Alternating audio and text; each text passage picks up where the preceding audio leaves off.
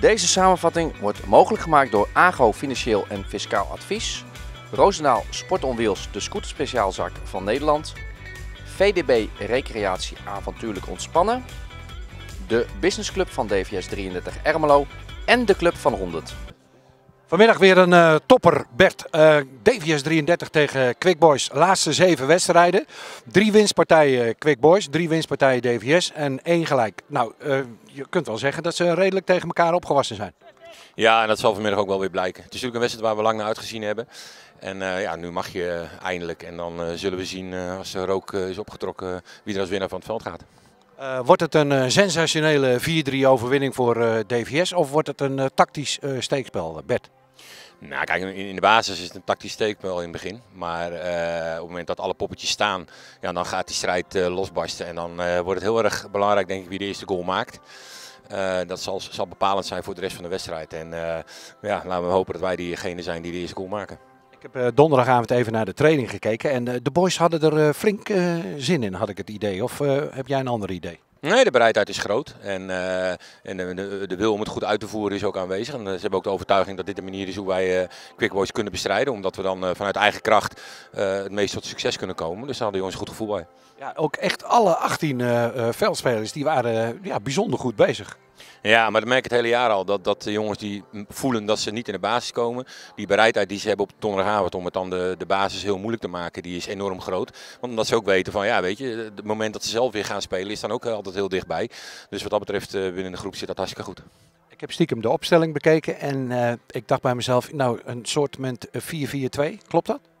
Ja, een soortement van. We zullen in het veld zien hoe die verhoudingen komen te staan. Natuurlijk, het feit is dat we voorin een wisseling hebben gedaan. Omdat we denken dat we daar uh, uh, met die type spitsen dat we daar het meest succes mee kunnen behalen. We willen vooral zorgen dat de, de bal vanuit de middenlinie gaat komen.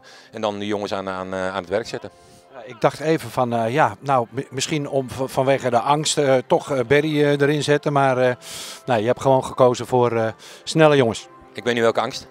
Nou, een eventuele angst voor de spits Berry. Hij heeft toch altijd nog wel een naam. En zeker als hij er dan ook nog zo een in ploept, zoals verleden week. Ja, maar op basis van namen win je nooit wedstrijden. Hè? Op basis van uh, wat nodig is en wat je laat zien in een wedstrijd. Waarbij ik eerlijk moet zeggen dat Berry natuurlijk vorige week natuurlijk een prachtige goal gemaakt heeft. Alleen ik denk gewoon de manier waarop we gaan spelen, dat is niet uh, voor Berry bevorderlijk. En, maar we gaan Berry altijd nog nodig hebben vanmiddag en dat zul je ook wel zien. Hoe, hoe denk je dat de Quick Boys aan deze wedstrijd gaat beginnen? Ik verwacht toch wel dat ze er even in het begin op zullen klappen. En dan vervolgens verwacht ik dat ze wat in gaan zakken en vooral de fysieke duels gaan zoeken. Ik denk dat ze toch wel een stukje opportunisme met zich mee gaan brengen. Ze weten dat ze fysiek sterker zijn dan, uh, dan, dan DVS. Vooral standaard situaties zullen we erg waakzaam moeten zijn, heel proactief moeten handelen. Dus, maar goed, de, uh, de, de, spanning zit op beide groepen denk ik, want ieder kent het belang. Alleen wij moeten meer dan dat Quick Boys eh, moeten, want het gaat dus vier punten. We zullen slim moeten spelen, Bert. En daar wensen we namens DVS TV je heel veel succes mee met je groep. Ja, dankjewel Piet. En we zijn uh, begonnen aan de wedstrijd DVS 33 Ermelo tegen Quick Boys. Zoals gebruikelijk een lange bal van Roald de Vries die de aanval is bereikt. En ook een eerste schot op goal van doelman Paul van der Helm van Quick Boys. Oktay Osturk. Verdedigd daardoor Quick Boys. Bal al ingegooid, bal nog in het veld. Twee ballen in het veld nu. Kijk eens, gevoelig balletje van uh, Soufian Moro. Het was uh, Oktay Osterk die uh, 10 centimeter tekort kwam om uh, zijn kruinen tegenaan te zetten. Oliver Pilon. Oktay Osterk. Doelpunt! Geweldig! Nam hem aan met rechts, schoten met links in volgens mij hoor. Ja, lekker van Oktay Osterk. Begint in de basis. Vorige week er niet bij door een schorsing.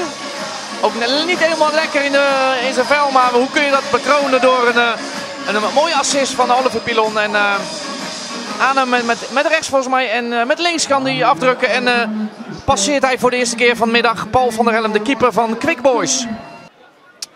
Nou, de ene is wat... dat is weer goed duidelijk. van Christian Sofian Morro. Benjamin Roejon. Hij mag door. Oh, die had hij moeten maken, Maarten. Een hele grote kans voor Soufian Moro. Ah, hij schiet hem over de goal van eh, keeper eh, Paul van der Helm. Dat Maar- had de 2-0 moeten zijn. Ja. De bal weer naar voren gerost bij Quick Boys, om het maar zo te zeggen. Nu doet de, er was eigenlijk helemaal geen gevaar. Jetse van Nieuwkerk. Dennis Hollard. Dennis Hollard. Dennis Hollard. Sterk, sterk in duel daar. Maar het is toch Boys die wint. Hoofdwegen. En daar is het doelpunt. Jesse van. Nieuwkerk. Nee, buitenspel. Buitenspel. Oliver Pilon. Benjamin Roemion. Ze lopen elkaar een beetje in de weg schieten. Oh, op, op de, de vuisten. vuisten. Het schot was van, Christian van, van Hussen. Hussen. Ah, mooi. Ah, leuk. Nu weer Mooi. een kans voor DVS. Gaat zo heen en weer. Die zou maar gewonnen hebben. Nou, Nu lekker. Even kijken. eh, Christian van Hussen. Oh, Dit is ook een overtreding. En dat is die ook kan je nog Nee, geven. En dan moet je voordeel geven, scheids. Ja, maar nu moet hij dan wel eigenlijk bestraffen met de kaart. Anders Ja. was het inderdaad dat je... Heb je gelijk, André. Dan eh, Dit vind ik zonde. Dat vind ik... door Pilon opgevangen worden. Rustig eh, positiespel geprobeerd eh, door eh, Dennis Hollard. Ruimte nu voor... eh, Dit is geen buitenspel. Dan is Pilon helemaal vrij aan de andere kant. Roemeel, geeft hij hem. Oh, je ziet Pilon en het is goal. DVS. Oh, wat een fantastisch overzicht. Niet zelfzuchtig zijn. En Oliver Pilon scoort de 2-0 op een heel belangrijk moment. Want we zitten vlak aan voor de rust. En eh, dit is heel lekker en was ook een hele mooie aanval. Heel rustig gebleven. En ik vind eh, DVS vandaag rustig en gecontroleerd voetballen. Laten zich niet gek maken, hebben er zin in. En scoren voor de rust de 2-0. Mooi, mooi, mooi. Had wel de intentie om eh, voor hem langs te glijden, Ja. maar overtreding. Snel genomen, Frank van der Burg. Op tijd. Kijk eens, Oliver Pilon. Hij is alleen, hij gaat schieten uit die hoek. Waar Perry Paul hem vorige week inschoot. Maar eh, knap geschoten hoor. Hij was alleen. Olly heeft er ook zin in. Lekker hoor. 20 doelpunten nu in de competitie. Geeft die man een nieuw contract. 20 hè. Ja. Ik denk wel dat hij een nieuw contract heeft gekregen, maar eh, zet, zet er dan een handtekening onder. Keurig op de bal. Van Hussen, die, eh, die, die, die, die, die maakt wat weg vanmiddag tot nu toe jongen. Kijk eens? Oliver Pilon, geen buitenspel. Daar gaat hij hoor. Kijk eens, kijk eens, kijk eens. 21! Ja! 21! 3-0 DVS! Fantastisch, Oliver Pilon! Wat een heerlijke wedstrijd! Wat een heerlijke vijf minuten voor rust! Wat doet DVS dit goed? Maarten, 3-0, DVS 33. Quick Boys 0. Ravensbergen, Joey. Legt hij die bal keurig klaar. Kijk eens, Paul Epping. Daar staat hij voor. Goeie redding. Maar dit is eh, Joran van Zanten die om zijn eigen as draait. En eh zo ruimte door hem creëert. Door het midden. Mooi hoor. Buitenspel. Bet die eh, denkt van, eh hey,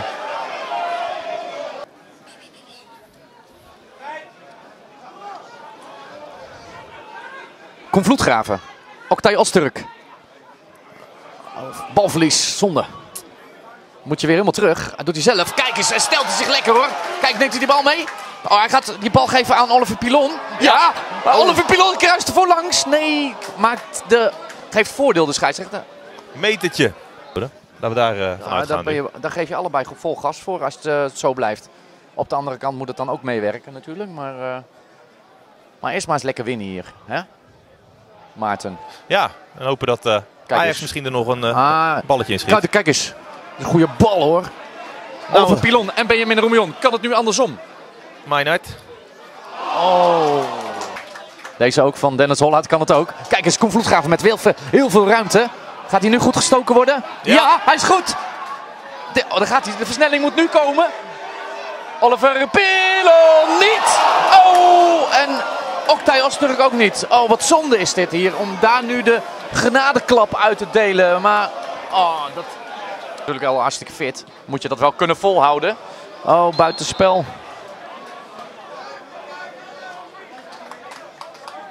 Betty zijn mannen weer echt lekker oppompt. Positief aan het coachen is. 81ste minuut. Oliver Pilon, die het kopduel wint. Oktay Asturk. Is te laat. Gaat hij zelf? Gaat hij zelf? Gaat hij zelf? Gaat hij hem aan redden? Oh, wat jammer zeg. Goed, uh, goede actie van uh, Oktay Asturk. Goed geanticipeerd.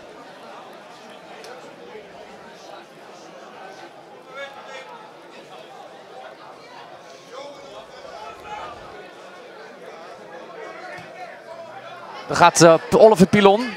Oliver Pilon. Nou. Oh, jongen. Hij twijfelt tussen een lopje, een stiffie of schieten. Hij besluit het laatste. Schiet met rechts.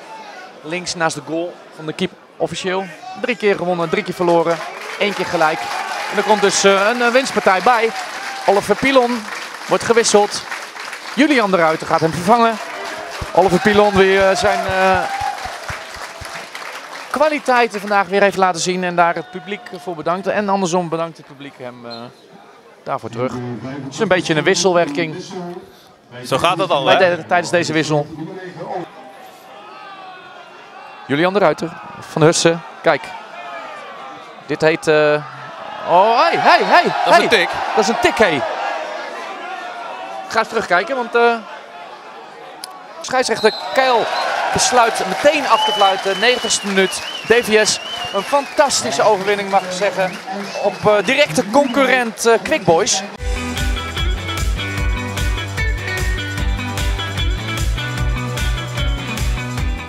Deze samenvatting wordt mogelijk gemaakt door AGO Financieel en Fiscaal Advies. Roosendaal Sport on Wheels, de scooterspeciaalzak van Nederland. VDB Recreatie Avontuurlijk Ontspannen de businessclub van DVS 33 Ermelo en de Club van 100.